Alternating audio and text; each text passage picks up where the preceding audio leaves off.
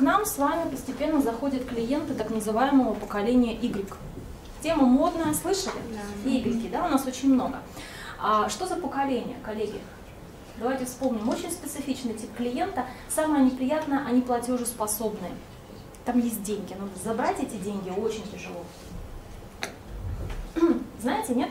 Нет. А Люда мол, молчит. Это говорит, не знаю, рассказывайте. Итак, Y. Их часто называют поколением 90-х, а, миллениалами, много разных терминов. А, в среднем это люди, которые имеют о себе повышенное самомнение. Это человек, который искренне полагает, что весь мир крутится вокруг них. Это человек, который искренне полагает, что есть он, ну и там внизу кто-то копошится, суетится. Проще всего этого клиента увидеть в розничном магазине, либо в услугах. Вот его проще всего увидеть. Как это вообще выглядит?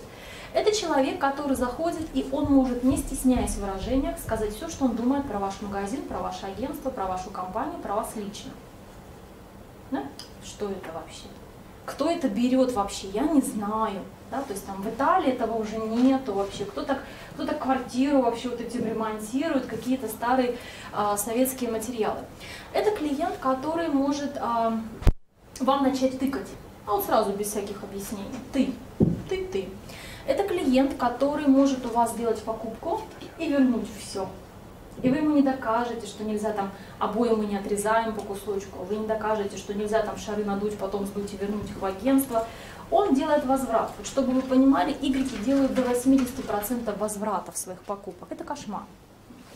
Бывают чудеса? Притаскивают. Они еще очень часто делают что? Они покрасили, допустим, вот возьмем стройматериалы, они взяли полбанки, использовали краски, а вторую половину вам приносят. а им больше не надо. У меня есть клиенты в Татарстане, магазины а, продукты питания, им приносят после Нового года открытые банки с консервами. Да, они съели там немного, а все остальное не нужно. А что говорит по товару? Нет, они так и говорят, мне больше не нужно.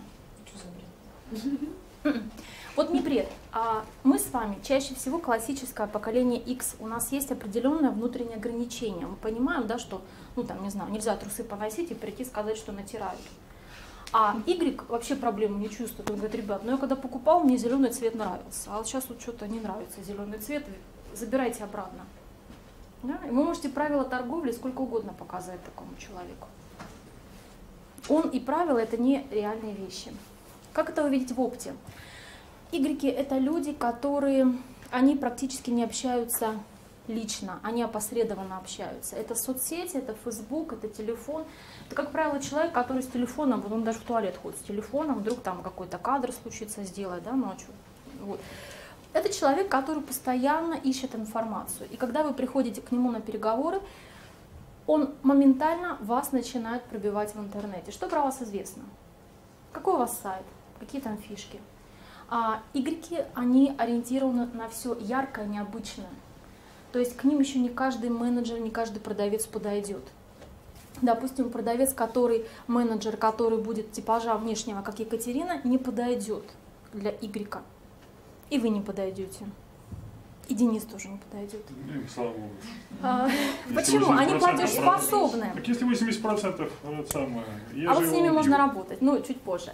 А, такие люди ценят все яркое, необычное. Они ценят финички, фишки, подарочки. Это люди, которые могут купить а, ради подарка в виде небольшого пластмассового тазика, они могут купить 10 килограммов стирального порошка. Порошок они оставят прямо на кассе. Но они возьмут тазик, вот этот маленький, он им больше нужен. Это очень специфичное поколение. А, поколение Z еще хуже. Это люди, которые, а, опять же, их проще всего увидеть. Вот, наверное, коллегам из рекламного агентства, вам а, вы можете увидеть Z, когда у вас контактное лицо, а, вы можете с ним вести переговоры и год, и два, и три. Он задает одни и те же вопросы.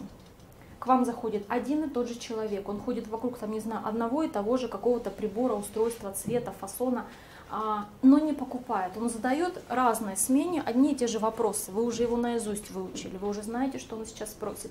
Он продолжает ходить, продолжает задавать вопросы, звонит вам по телефону и ничего не покупает. Очень специфичные клиенты.